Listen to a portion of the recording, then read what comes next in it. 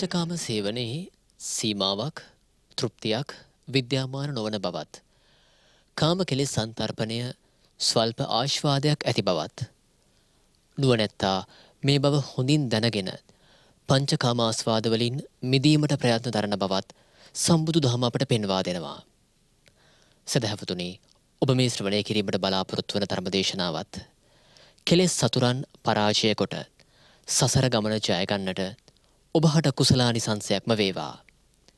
එසේනම් ඔබ අප කෙරෙහි අනුකම්පාවෙන් බෞද්ධයා රූපවාහිනියේ මේ පැයට නියමිත දායකත්ව ධර්මදේශනාව සිදු කිරීම සඳහා බෞද්ධයා රූපවාහිනී මැදිරියට වැඩම කළ පූජ්‍යපාද කෝරලයාගම සරණතිස්ස ගෞරවනීය ස්වාමින් වහන්සේ අපි ප්‍රථමයෙන් සාදුනාදදී නමස්කාරපූර්වකව පිළිගනිමු. සාදු සාදු සාදු. මෙම ධර්මදේශනාව සඳහා සැදැහැති දායකත්වය ලබා දෙනවා පරලෝ සැපත් RA සිරිසේන මහතාගේ සහ WA රොසලින් නෝනා මහත්මියගේ දූදරුවන් සහ මුණුබුරු මිනිබිරියන්. සමන්තා චක්කවාලේසු අත්‍රාගච්චන්තු දේවතා සද්ධම්මං මුනිරාජස්ස සුනන්තු සග්ග මොක්කදං ධම්මස්සවන කාලු අයං බදන්තා ධම්මස්සවන කාලු අයං බදන්තා. ධම්මස්සවන කාලු අයං බදන්තා.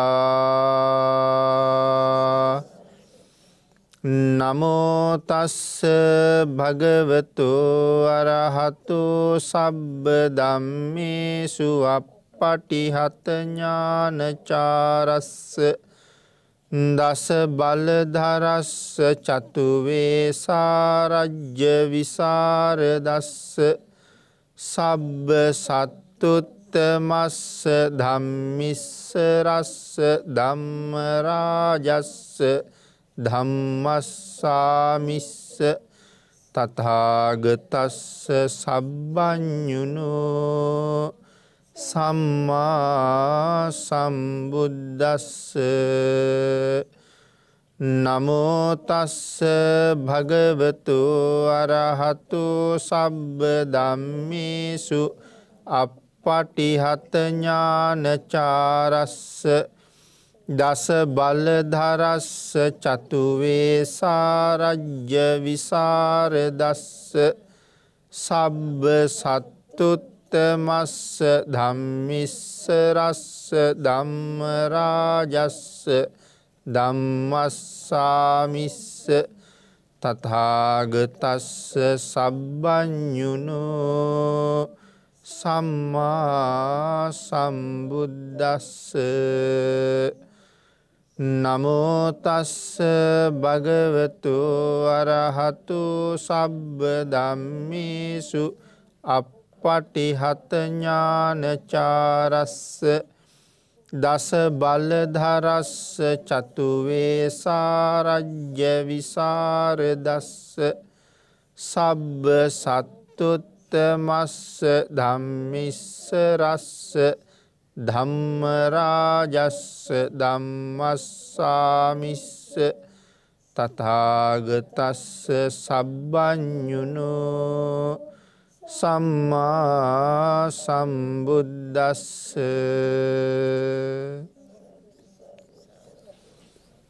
සද්ධර්මශ්‍රාවක කාරුණික ගුණගරුක බෞද්ධ පින්නතුනි බොහෝම ශ්‍රද්ධාවෙන් යුක්තව මේ සියලු දෙනාම මේ සැදී පැහැදී සූදානන් වෙන්නේ තතාගත සාන්තිනායක සම්මා සම්බුදුරජාණන් වහන්සේ විසින් ලෝක සත්වයන් පිළිබඳව අප්‍රමාණ දයාවෙන් කරුණාවෙන් මෛත්‍රියෙන් යුක්තව අවබෝධ කරගෙන දේශනා කොට වදාළ පරම ගම්බීර වූ ශ්‍රී සද්ධර්ම රත්නයෙන් අබමල් රේනුවකටත් වඩා අඩු බොහෝම පුංචි කොටසක් දේශනා කරවගෙන ධර්ම ගෞරවය පෙරදැරි කරගෙන දේශනාගත ධර්මය ශ්‍රවණය කරන්නත් එසේ ධර්ම ශ්‍රවණය කිරීමෙන් ලැබෙන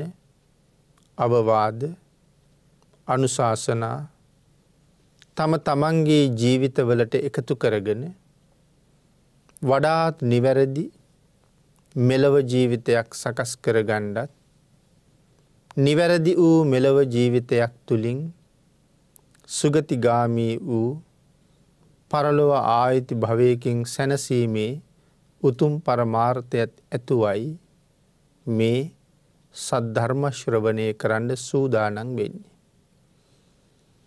පිනතුනේ බුදුරජාණන් වහන්සේගේ ධර්මය බොහෝම ශ්‍රද්ධාවෙන් ශ්‍රවණය කරන සැදැහැවතුන් උදෙසා ශ්‍රවණය කරන්න අවස්ථාව උදා කරලදීම ධර්මදානමය පින්කමයි. මේ ලෝකෙ තියෙන හැම දානයකටම වඩා උතුම්ම දානය තමයි ධර්මදානය. ඒ මහා ශ්‍රේෂ්ඨ පින්කම සිදු කරගන්න මේ පින්වතුන් එයින් ලබාගන්න උදාරතර පුුණ්‍ය සම්භාර ධර්මයන්ගේ අනන්තානු භාවයෙන් ඉතාම ඉක්මං භවයක ඉතාමත්ම කෙටිකාලයකින් සැප සහිත ප්‍රතිපදාවකින් උතුම් නිර්වාණ ධර්මය අවබෝධ කරගනිත්වා කියලා ආශිර්වාද කරනවා. පිනතින අද ධර්ම දේශනා මාතෘකාව හැටියට අපි යොදාගෙන තිබුණේ ධම්ම පද පාලියේ සඳහන් වන එක ගාථාරත්නයක්. මත්හා සුක පරිච්චාගා පස්සේචේ විපුලං සුකං චජයේ මත්තා සුකං දීරූ සම්පස්සං විපුලං සුකං කියන ගාථාරත්නය තමයි අපි පහුගිය දවස්වල සාකච්ඡා කරන්නට යෙදනේ. මේ ගාථාරත්නය ඇසුරු කරගෙන ධර්ම දේශනා තුනක් සිදු කරන්නට යෙදුනා.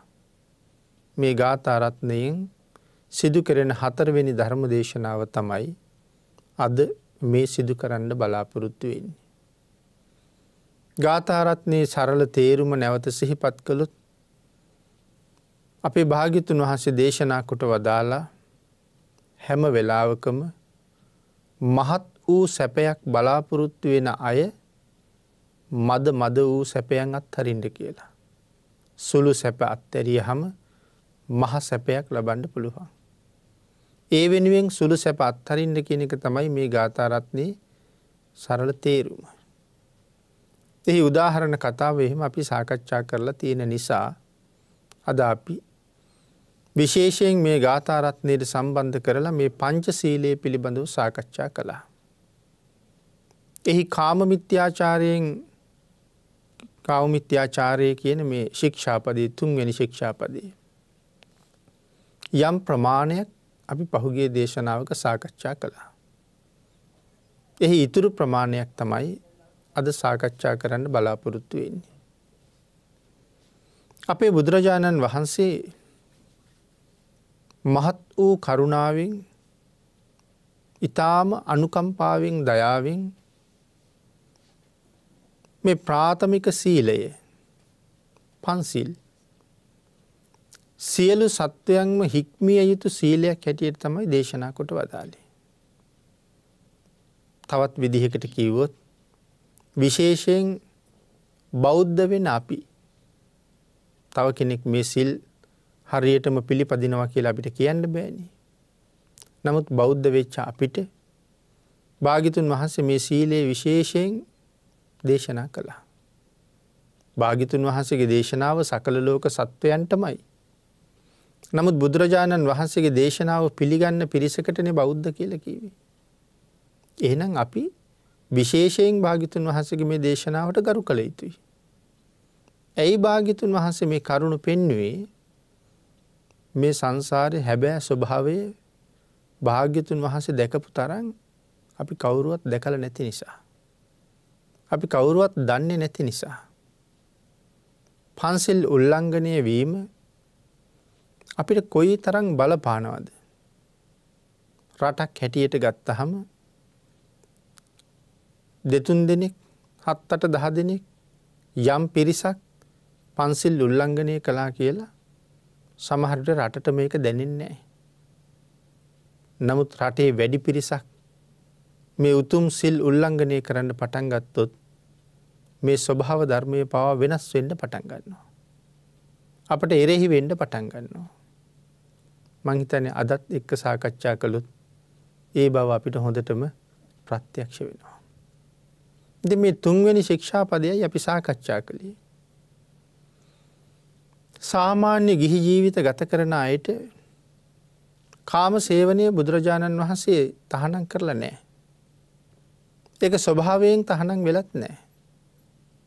නමුත් වැරදි කාම සේවනය වැරදි කායිකාසුර ඒක ආර්යන් වහන්සේලා බොහෝසේ පිළිකුල් කරනවා. ස්වභාව ධර්මයත් ඒකට කැමතිනෑ. යමෙක් එහෙම හැසිරෙනවනම් ඒ අයට බොහෝසේ දුක්විඳින්ට සිද්ධ වෙනවා. සතරාපායෙන් මිදෙන්ඩ බැරුව යනවා. ඒවාගේ මහා අනාගත දුක්කක් කන්දයකට උරුමකං කියන්න වෙනවා. අපේ ගාථාව තේරුම සුළු සැපත් හරින්ට කියලා. මහත් වූ සැපයක් වෙනුවෙන් සුළු සැපයත් හරින්ට කියලා. එමනම් මේ තුන්වෙනි ශික්ෂාපදය උල්ලංඝනය කිරීම. ඒකත් අපි හොයන සුළු සැපයක්. නමුත් මේ සුළු සැපය නිසා මහත් වූ දුකකට අනාගතය මූුණ දෙන්න සිද්ධ වෙනවනම් ඒ මහා දුකක් බිඳිනවට වඩා සුළු සැපය අත්හරින එක වටිනවා. ඒ සුළු සැපය අත්තැරිය හම මහා සැපක් ලැබෙනවනං ඒ සුළු සැපය කොහොමත් අත්හරින එක තවත් හොඳයි. එමනම් මේ ශික්ෂාපදය ගැන කරුණු කාරණා යම් ප්‍රමාණයක් කලින් දේශනාව සාකච්ඡා කරන්නට යෙදුනා. මේ කාරණාව පිළිබඳව අපේ පින්නතුන් නොදන්නව නෙමෙයි. එහනම් මෙහි ආදීනව හැටියට කරුණු පැහැදිලි කරනකොට මොන මොන වාගේ කරුණු දේශනා කරලා තියෙනවද පැහැදිලි වෙනවද කියන කාරණාව ටිකක් සාකච්ඡා කරමු. මේකට හොඳ උදාහරණයක් තමයි අපේ පිටකයි තේරී ගාථාවල ඉසිදාසි කියන තෙරණිය සඳහන් කරන කාරණාව. ඉසිදාසි කියල කියන්නේ බොහෝම ධනවත් පවුලක ඉපදිච්ච කෙනෙ. පස්සෙ කාලෙ පැවිදි වෙනවා. පැවිදි වෙලා ඉසිදාසි නමින් තමයි ඉසිදාසි තෙරණිය. මේ තෙරණියත් එක්ක තව බෝධි තේරී කියල තෙරණියකුත් හිටිය. එක දවසක් ඉසිදාසි තෙරණියයි බෝධි තෙරණියයි පින්ඩ පාති වැඩම කරලා දානෙ වලඳලා පාත්‍රා සෝදලා පසක තියලා විවේකීව ඉන්න වෙලාවේ. බෝධි තෙරණිය ඉසිදාසිගෙන් අහනවා ඔබ බොහෝම ලස්සනයි. ඔබේ හම බොහෝම පැහැපත්. ඔබ තවම තරුණ වයස ඉක්මවල නෑ. මොන හේතුවක් නිසා මේ වයසේම පැවිදි වුණාද කියලා.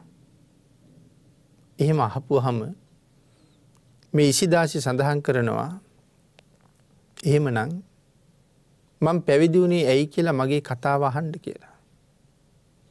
එහෙම සඳහන් කරලා කියනවා මම අවන්ති රට සීල සංගෘත කියන සිටුවරයගේ දුව ඒ කාලෙ මගේ තාත්තගේ නම සීල සංගෘත.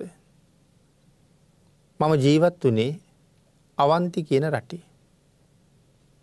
මම තරුණ වයසට ආවට පස්සේ මගේ තාත්තා බොහෝම ධනවත් සිටුවරයකුට ඒ සිටු පවුලකට මම විවාහ කරලා දුන්නා. මම ඒ ගෙදර විවාහ වෙලා ගිහිල්ල ඒ ගෙදර මගේ ස්වාමයාගේ අම්මට තාත්තට මගෙන් යම් යුතුකමක් කෙරෙන්ට තිබුණද ඒ හැම්ම යුතුකමක්ම මං නොපිරි හෙලා ඉෂ්ට කළා. මං මගේ ස්වාමයාගේ අම්මගේ තාත්තගේ හැම දාම දෙපා සෝදනවා. ඒ අයි වෙනුවෙන් කරන්න තියෙන යුතුකං ටික කරනවා.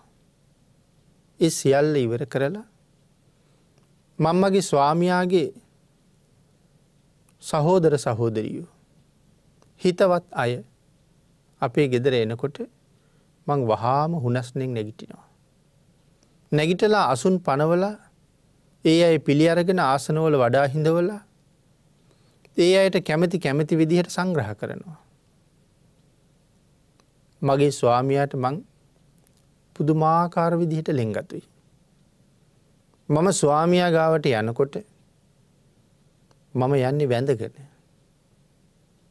බොහෝම ගරු කටයුතු ස්වාමීන් වහන්සේලා ළඟට අපේ දායක පින්ඩතුන් ගිය හම දායක පිරිසත් ස්වාමීන් වහන්සේලාත් උන්වහන්සේලා එක කතා කරන්න වැඳගෙන.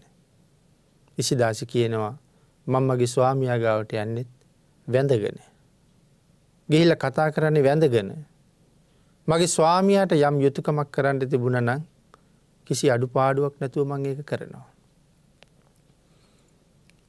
උයල පිහල බොහොම ප්‍රනීත විදිහට කෑම බීම ටික සපයලා දෙනවා.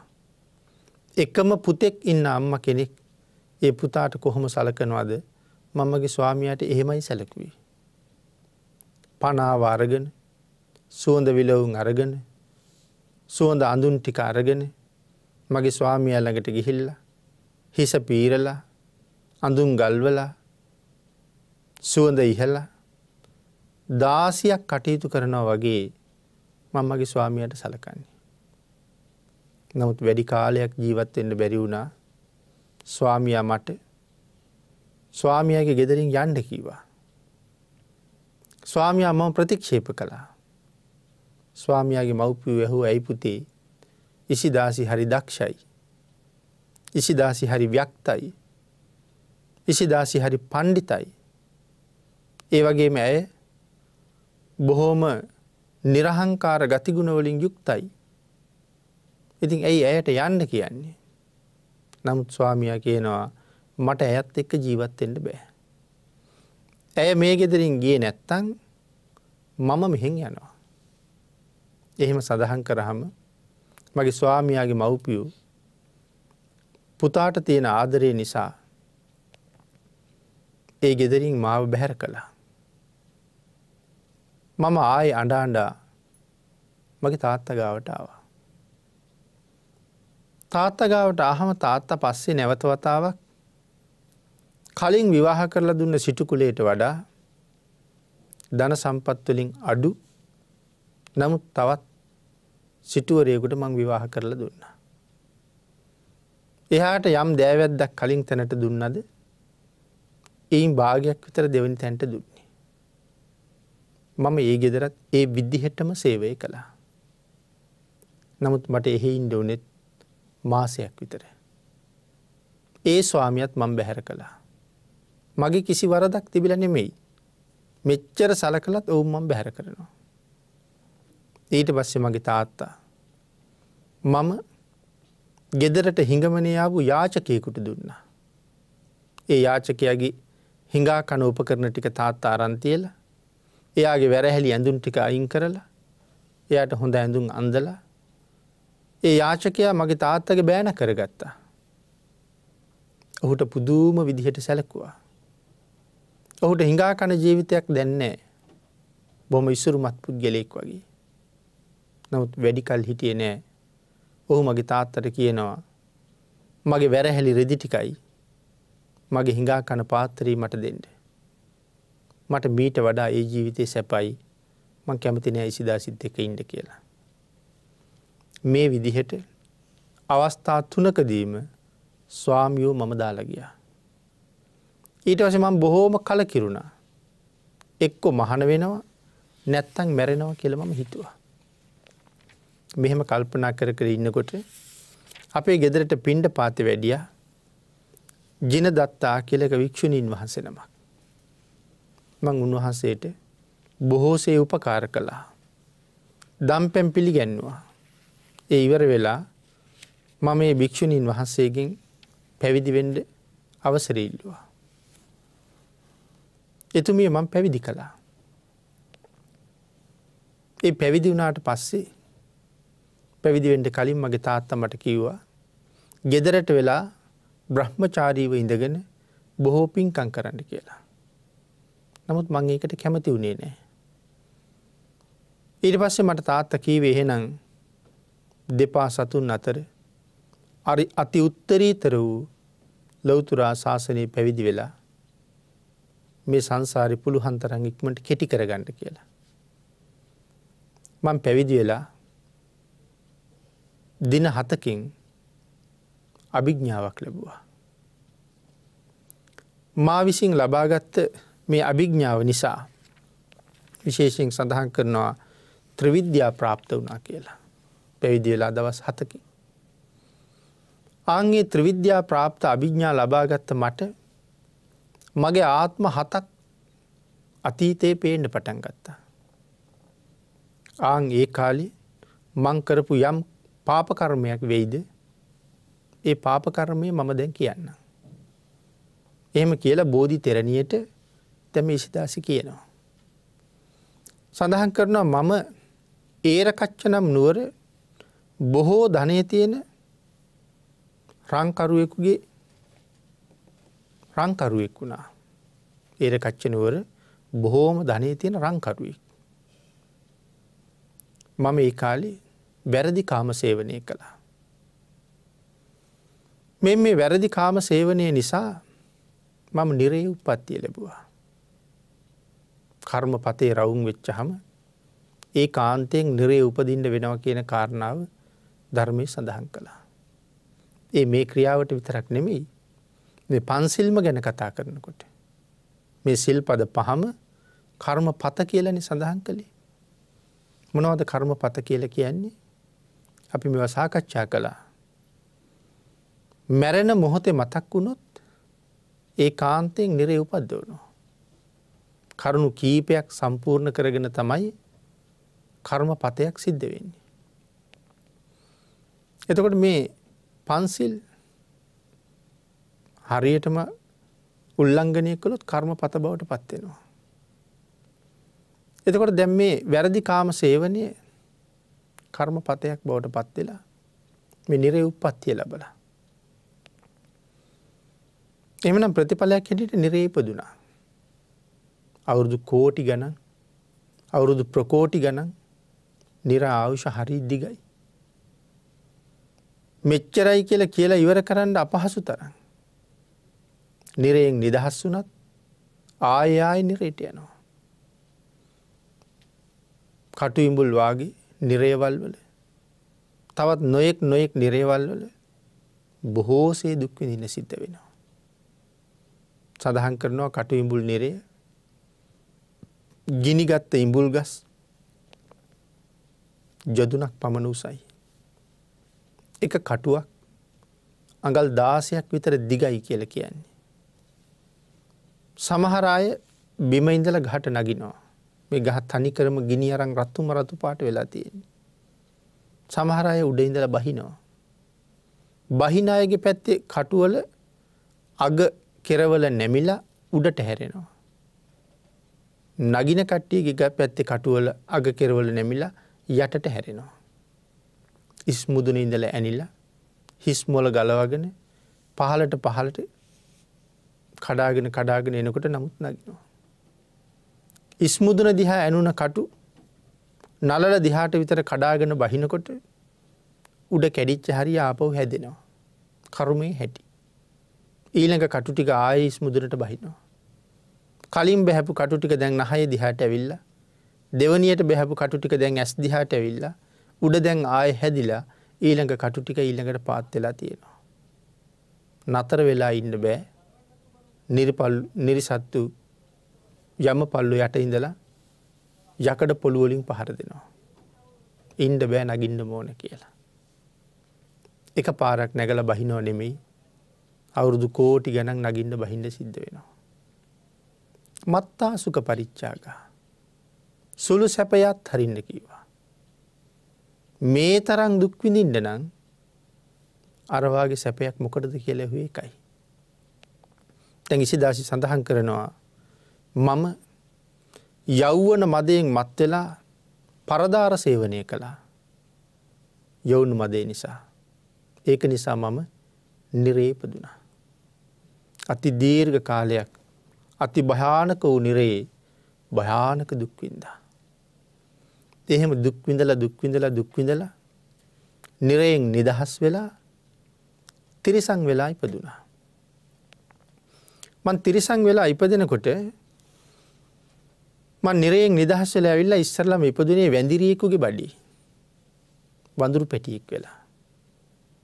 ඒ කාලි මම වඳුරු පැටියෙක් වෙලා ඉපදිලා දවස් කීපයක් යනකොට නායක වඳුරා දින හතකින් මගේ පුරුෂ ලිංගේන්ද්‍රය කඩල දැම්ම. අසීමාන්තික වේදනාවෙන් මං හඬනින් වැලපෙනකොටම පුරුෂේන්ද්‍රී ගලෝල දැම්ම. ඒක එක ආත්මයක විදපු තවත් දුකක් තිරිසං ආත්මය. ඉන් පසුව මම සින්දචාර කියන වනයෙහි කනවෙච්ච කොරවෙච්ච එළු දෙනකගේ කුසේ පිළිසිඳ ගත්තා. එළු දෙන ඇස් පේෙන්නෙත් නෑ එළු දෙන කොරයි. මං ඇගේ කුසේ පිළිසිඳ ගත්තා. මං ඉපදුනාට පස්සේ මගේ ශක්තිය වැඩිවෙන්ඩ ඕන කියලා මිනිස්සු මගේ බීජෝත් පාටනය කළා. දොළොස් සවුරුද්දක් තිස්සේ ගම් දරුවන්ගේ බර උහුලන්න මට සිද්ධ වුණා. මේ ළමයි එළුවගේ පිටේ නැගල එහෙම යනවා. එළුව වාහනයක් කරගණ්ඩ ශක්තිය වැඩි කරන්න බීජෝත් පාටනය කළා. ඒ වුණට මගේ බීජ ගලෝප තැනට පනුව වැැහුවා.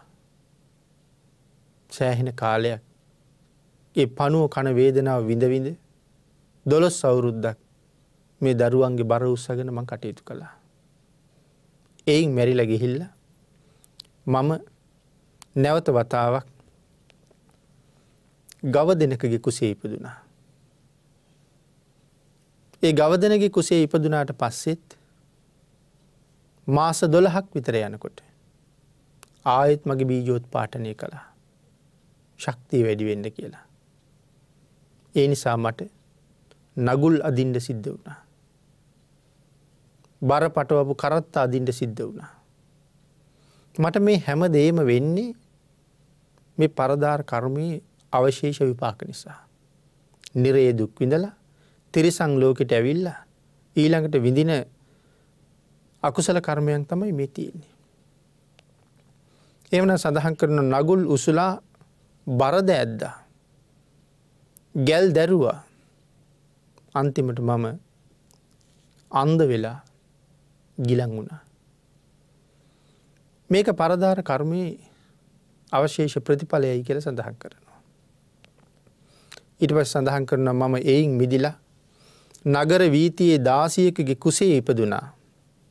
පෙර පව නිසා මම ස්ත්‍රයක් වුනිත් නෑ මං පුරුෂයෙක් වුනිත් නෑ. ඒ දාසිගේ කුසේ ඉපදිච්ච මම නපුන්සකේ කැටියට ඉපදුනා. එතකොට ස්ත්‍රීත්වයත් මට අහිමි පුරුෂ බවත් මට අහිමි.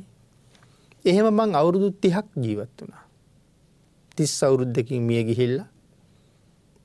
ඉතාම දිලිඳු නිතර නිතර ණයබරෙන් පෙළෙන දුප්පත් ගෙදරක මං ආයිපදුනා. ඒ ගෙදර මගේ තාත්තා අනුන්ගෙන් ගත්ත ණය වැඩි එකතු වෙලා තියෙන පොලී බර වැඩි ඒ නිසා ණයගත්ත අය පොලිකරුවෙක් මම අඩද්දි බලෙන්ම මම පැහැරගෙන ගියා. ඊට පස්ස සඳහන් කරනවා නැවත වතාවක් මම අවුරුදු දාසේ වයස යොවුන් වියට පත් වූ කාලි කන්‍යාවක වූ මා ගිරිදාස නම් වූ ගැල්නායකයාගේ පුතා කෙරෙහි සිත් ඇතිව ඔහුගේ බිරිඳක් බවට පත් වුණා. ඒ තවත් ආත්මික. ඒ ගැල්නායකයාගේ පුතා ගිරිදාස හැබැයි ගිරිදාසගේ තවත් බිරිඳක් හිටිය. ඇය බොහෝම සිල්වන්තයි. මම හැම වෙලාවම ගිරිදාසට කේලං කියලා අර සිල්වත් බිරිඳ කෙරෙහි ඔහු බිඳෙව්වා. ආං ඒක විපාකයෙන් තමයි මේ ජීවිතයේ ස්වාමි පුරුෂෝරු තුන් දෙනෙක්ම දාසියක් වගේ මං මෙහෙවර කරද්දිනුත් මවත් තැරල දෙමි. ඒ ස්වාමියයටත් පවුලයයිටත් එච්චර සලකද්දි ඒ ස්වාමයා මං එපා කියනවා. අන්තිමට අර හිඟා කන මිනිහැට දීලත් එච්චර සැපදීලත් එච්චර තැනක ජීවත්තෙන්ට දීලත් එහිඟන්නටත් මං එපා වුණා. එනම් මේ අවස්ථා තුනක ස්වාමයා ප්‍රතික්ෂේප කරන්නේ ඇයි. අර සිල්වත් ගුණවත් බිරිඳ කෙරෙහි ස්වාමයා බිඳෝපු පාපේ. එතකොට නිරයේ ඉපදුනා වැඳිරියකගේ කුසේ ඉපදුනා එළු දෙනක්ගේ කුසේ ඉපදුනා ගව දෙනකගේ කුසේ ඉපදුනා දාසියගේ කුසේ ඉපදිලා නපුංසක වුණා මේ සියලු විපාක මොකක් නිසාද මේ පරදාර කර්මයේ ඵලයයි කියල සඳහන් කළා. ඉතින් මම සංසාරි කරපු පව් මේ විදිහට මම අවුරුදු කෝටි ගණන් වින්ද නිරේවල්ලොල. නැවත තිරිසන් ලෝකෝල බොහෝසේ විඳෙව්ව මම නැවත නැවත ඉපදීපදී.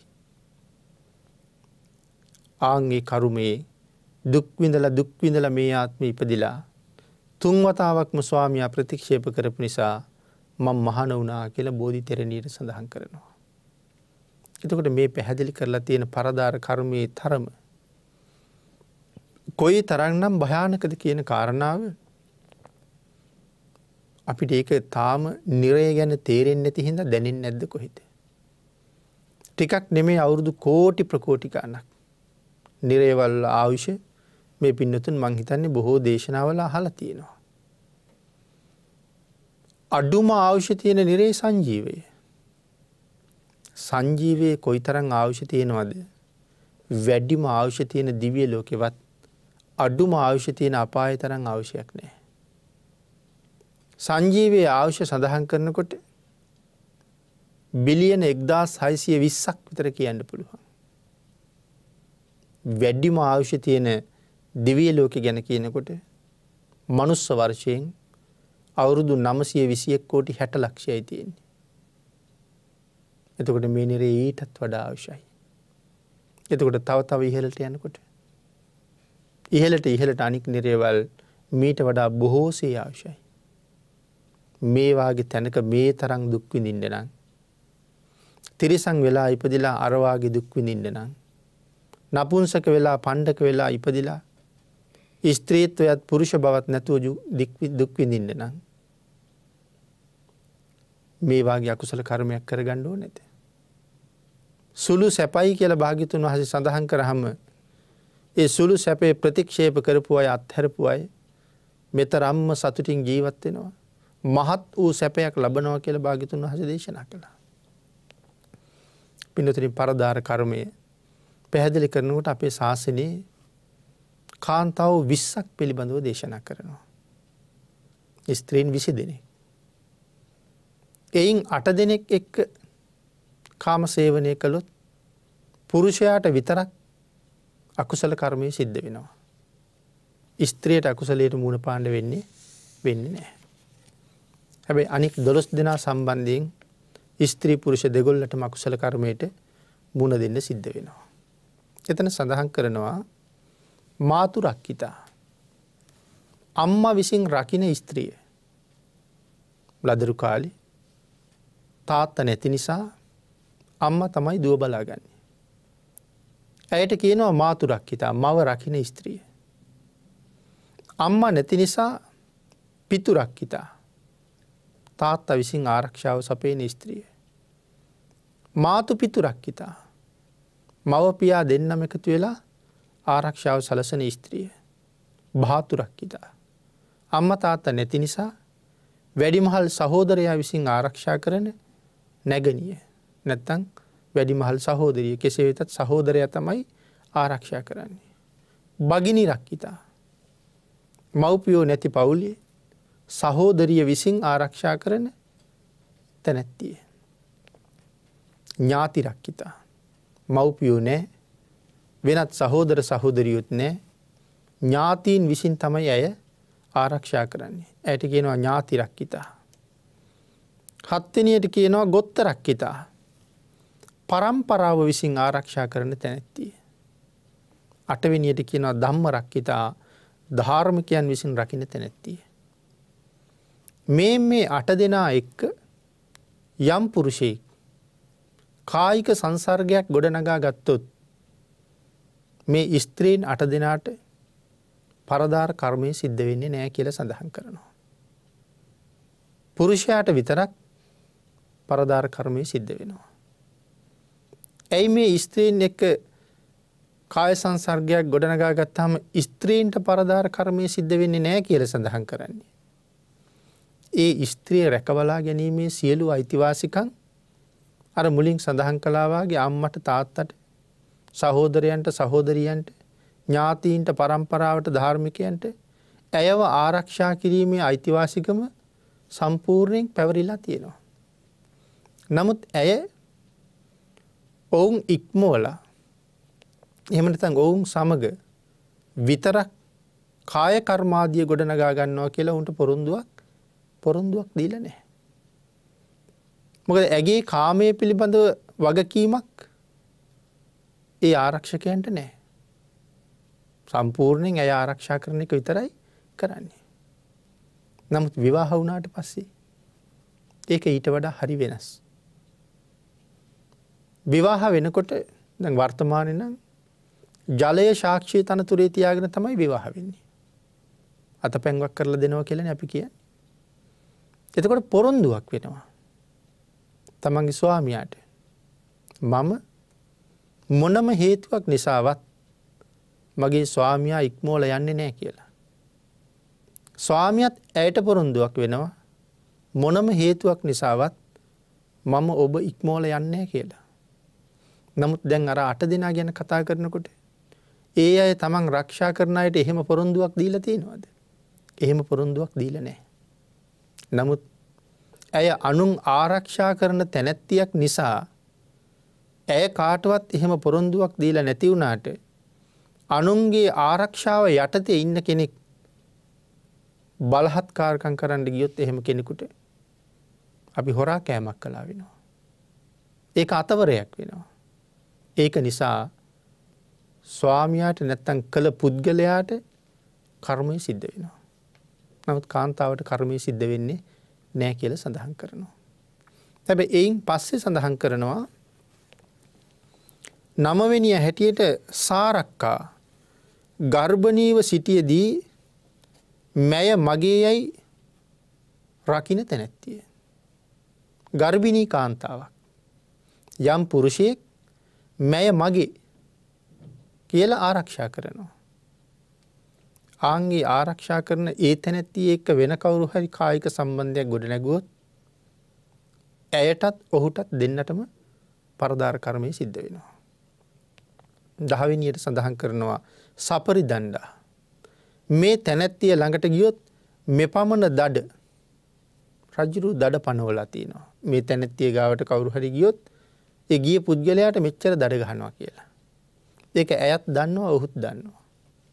නමුත් ඒ අය වැරදි කාමසේවනයක යෙදනුත් එ දෙන්නට මේ කරුමේ සිද්ධ වෙනවා. ධනක්කීතා ධනයෙන් මිලදී ගත්ත නැත්තිය. මුදලට අරගෙනයි තියෙන්නේ. ධනය දීලා මගේ කරගෙන අයිති කරගෙන. ඊට පස්සේ ඒ තැනැත්තිය මුදල් දීලා තමන් ගත්ත කෙනා හැර වෙන කවරු හරි එක්ක කායික සම්බන්ධයක් ගොඩ නගා ගත්තොත් ඔවුන් දෙදෙනාටම ඒ කර්මයට මුණ දෙන්න සිද්ධ වෙනවා. චන්දවාසිනී ප්‍රිය වූ ස්වාමිපුරුෂයා සමඟ වාසය කරන තැනැත්තිය. තමන්ගේ ස්වාමිය එක ඉතාම ප්‍රිය ස්වභාවයෙන් වසන ඇය තමන්ගේ ස්වාමිය හැර වෙනත් කවරුවක්‍රිය එක කායික සම්බන්ධතාවයක් ගොඩනගා ගත්තොත් ඒ දෙන්නටම මේ පරදාර කර්මය කියන එක සිද්ධ වෙනවා. භෝගවාසිනී වස්තුව නිසා භාර්යාව කරගත්ත නැත්තිය. සමහට භාර්යාව සතු වස්තුව නිසා හරි ඇයත් එක්ක යම් කෙනෙක් සම්බන්ධතාවයක් ඇති කරගෙන ඇය මගේ කරගෙන තැන් එතකොට ඒ දෙන්න ඔවුනුන් අතර සම්බන්ධයක් ගොඩ නගාගෙන ජීවත්වෙනවා.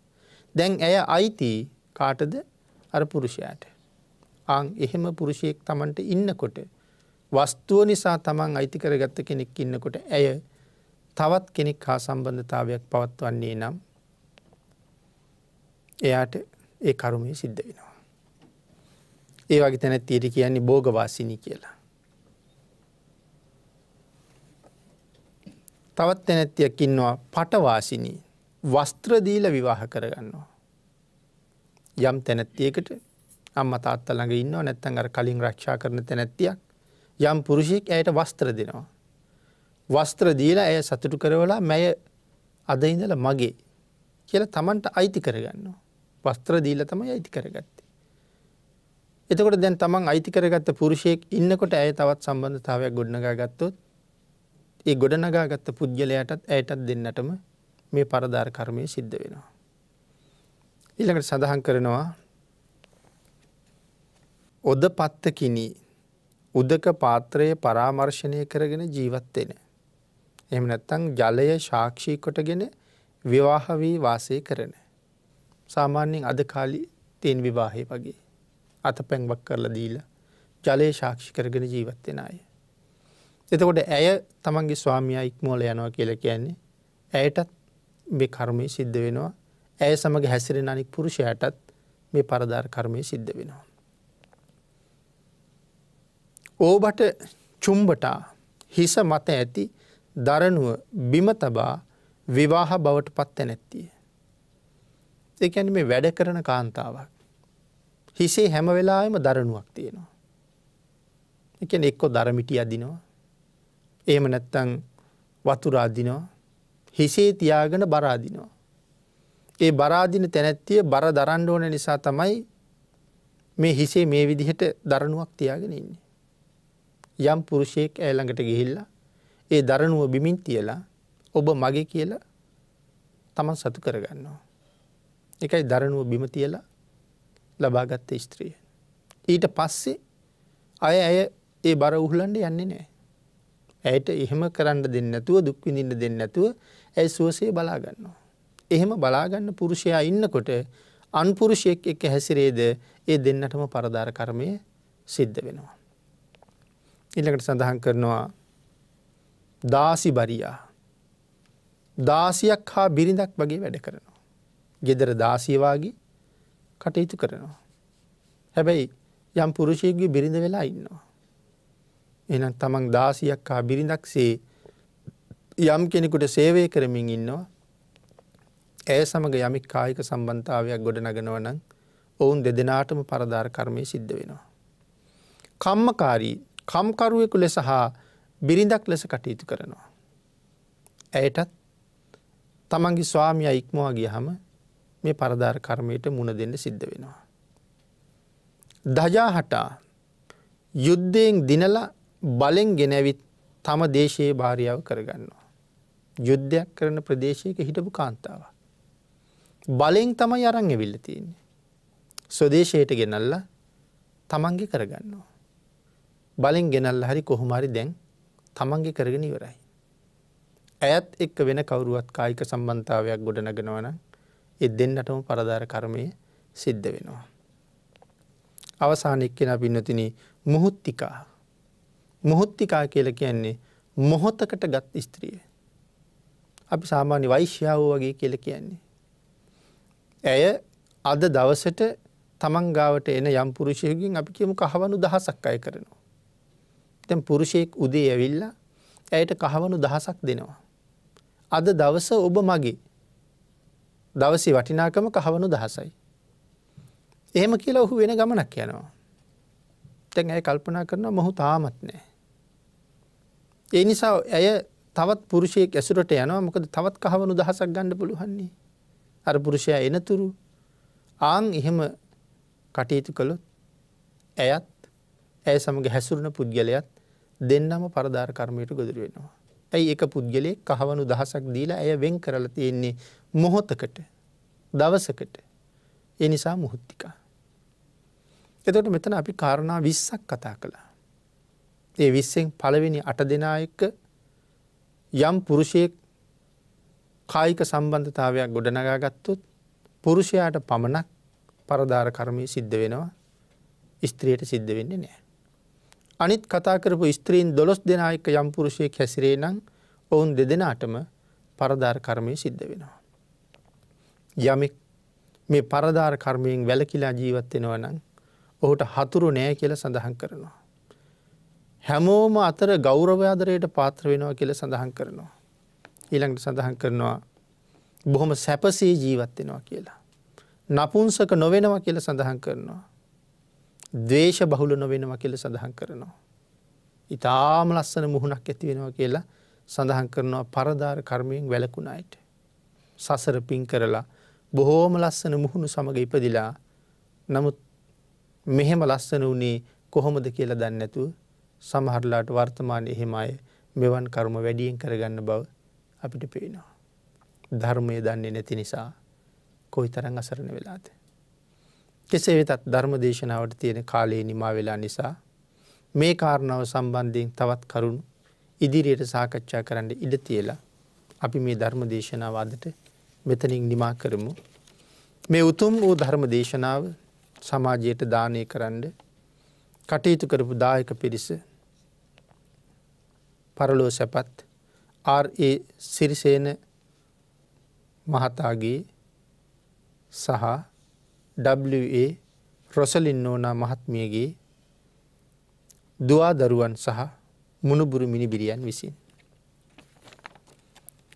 උතු මරමුණ RA සිරිසේන පියාණන්ටත් WA රොසලින් නෝනා මෑනියන්ටත් සමුද්‍රා කසුන්බා ගාමිනී ටියුලින් රෝහිත සොයිරු සොයිරියන්ට සංසාර්ගත පිම් බලාපොරොත්තු වන සියලුම ඥාතීන්ට අපවත් වී වදාළ ගෞරවනීය දරනාගම කුසල දම්ම නායක ස්වාමින් වහන්සේට රට ජාතිය වෙනුවෙන් ජීවිත පරිත්‍යාග කළ සියලු රණවිරුවන්ට මේ පින් අනුමෝදං වේවා කියලා ආශිර් ප්‍රාර්ථනා කරනවා. ඊට අමතර ඔස්සෙත් ප්‍රාර්ථනා කරනවා මෙම උතුන් පින්කම සඳහා සහභාගී වූ සියලු දෙනාටම ධර්මශ්‍රවණය කරනු ලබන ලෝකවාසී සියලුම දෙනාට උතුම් ධර්මාවබෝධය ලැබ නිවන් සුවයෙන් සැනසීමට සැනසීම පිණිසත් රට දැය සුරකින වීරෝධාර රණවිරුවන්ටත් ගෞරවනීය දේශකයාණන් වහන්සේ ඇතුළු බෞද්ධයා මාධ්‍යජාලයේ ස්වාමින් වහන්සේට කාර්ය මණ්ඩලේ සියලු දෙනාටමත් රත්නත්‍රී ආශිර්වාදයෙන් නිදුක් නිරෝගි භාවේ චිරජීවනය උදාවේවා කියල ප්‍රාර්ථනා කරනවා. දායක පිරිස විසින් පින් අනුමෝදන් කළ සියලු දෙනාටම පින් අනුමෝදන් වේවා ආශිර්වාද කළ සියලු දෙනාටම රත්නත්‍රී ආශිර්වාදයෙන් නිදුක් නිරෝගි භාවේ චිරජීවනය උදාපත් වේවා කියල ප්‍රාර්ථනා කරමින් අපි සියලු දෙනාටම ඉතාම ඉක්මං භවයක ඉතාමත්ම කෙටිකාලයකින් සැප සහිත ප්‍රතිපදාවකින් උතුම් නිර්වාණ ධර්මය අවබෝධ කරගණ්ඩ මේ මහා කුසල ශක්තිය පාරමිතාවක් වේවා කියල ප්‍රාර්ථනා කරමු.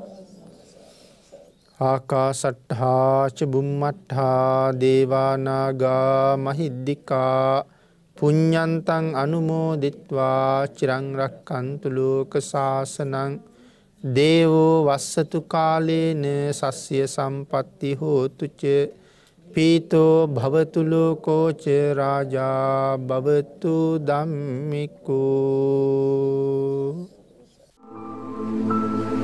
Thank you.